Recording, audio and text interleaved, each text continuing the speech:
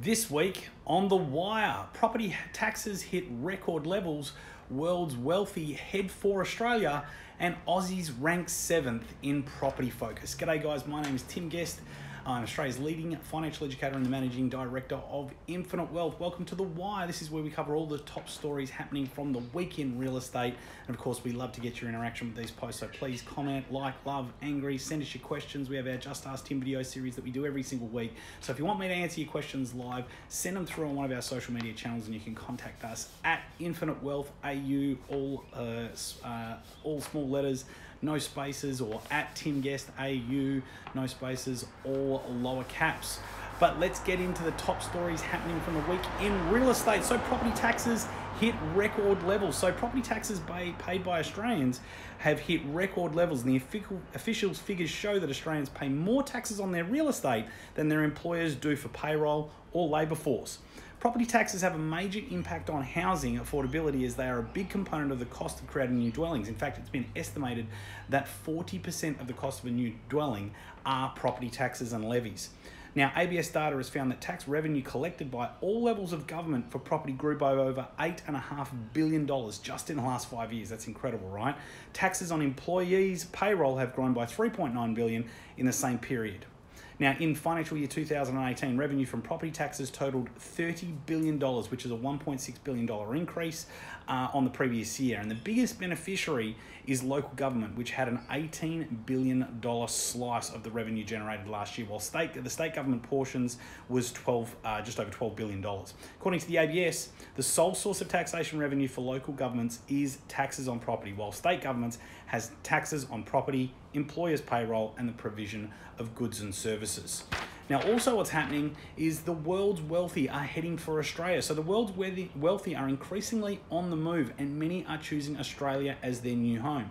Know, considering that we've got one of the fastest growing populations in the Western developed world, it's not surprising that a lot of people are looking to get into a stable growing economy like Australia. Uh, about 108,000 millionaires migrated across borders last year, which was a 14% increase on the prior year and more than double the level in 2013. That's according to Johannesburg based New World Wealth. Now, Australia, the US, and Canada are the top destinations, while China and Russia are the biggest losers. The UK saw around 3,000 millionaires depart last year, with Brexit and taxation cited as possible reasons. Wealth migration figures point to present conditions such as crime, lack of business, um, uh, where was I? Crime, lack of business opportunities, or religious tensions. And that's uh, coming from Andrew Amoils, head of research at New World Wealth. Australia tops most wish list for immigrants because of its perceived safety, no inheritance tax, and strong business ties to China, Japan, and South Korea. It also stands out for its sustained growth uh, having escaped the GFC unscathed and avoided recession for more than 27 years. The US was the second most popular de- destination in 2018, with New York City, Los Angeles, Miami, and the San Francisco Bay Area the preferred options. Moving on to our third story for the week. So, Aussies ranked number seven on property focus. So Australians are spending several hours conducting property search each week, far exceeding the amount of time they spend at the gym or talking to their parents. So this is an online survey from HSBC reveals Australians are dedicating an average of two and a half hours a week to property research. According to HSBC's research, which surveyed almost 12,000 adults, Australia is the seventh most property obsessed nation in the world adults around the globe have found to spend an average of three and a half hours a week researching property, signaling that a culture of property obsession may be sweeping the globe. Australians reportedly spent twice as much time researching property than exercising at the gym, uh, with they only uh, averaged 1.08 hours a week. Oscar, please be quiet. Thank you. Here's my little assistant for today's uh, today's video. Uh, or they spent uh, 0.88 hours on average speaking to their parents. So HSBC says the research demonstrates that cooling markets in Melbourne and Sydney have done little to dent property fixation uh, among Australians. The UAE and USA were reportedly the world's most property obsessed nations, which were clocking an average of 6.6 hours and 4.95 hours, respectively, on research each week. So, guys, that takes care of the top stories happening from the week in real estate this week. Uh, like I said before, we love to see your interaction with the episode post. So, please like, love, angry, comment, questions, send us through something so that we can answer live. And of course, the last thing that I'll really ask you guys to do is please share this valuable information with your friends and family.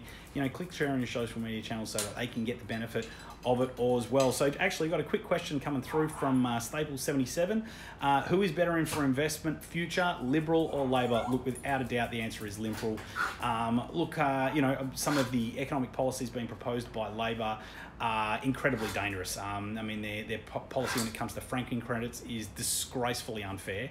Um, it really only impacts people that um, uh, in terms of getting a uh, their tax refund. I mean, other people will be able to claim their credit, but those people that don't actually have anything to offset it against will not be able to get their tax back. If you're paying more tax than you should be, then you should be able to get that tax back, regardless of um, whether you've got uh, uh income to offset that against or not. Obviously, negative gearing. Uh, I mean, we're to what we're actually going to see is we're going to see a huge spike in rents when it comes uh, to the implementation of negative gearing. Um, and then the other thing that I have huge concerns about is also Labor's climate policy. I mean, it's it's shocking that they will not relieve any policies, uh, sorry, any costings around um, their policies. And actually, just uh, today, some independent costings came out, which will claim it could cost somewhere between around 300 to 550 billion dollars to implement uh, Labor's policies. So the policies that they're planning on implementing are uh, economically um, unsound and potentially could be economically disastrous for our nation. So, look, if someone who's keen on building their wealth and investing, um, I highly recommend you encourage your friends and family as well as yourselves to vote Liberal this coming election. Um, so, yeah, that gives you my take on uh, when it comes to investment, but great question. I hope that answers it for you, uh, Jason and uh, Staples there as well. Uh, guys, look, that's it for me. Like I said, please share this information with your friends and family, and I'll be coming at you probably on Tuesday next week with uh, our Just Ask Tim video series. Uh, so hit us up with your questions, and I'll look forward to speaking to you guys soon. Thanks a lot. Have a great day.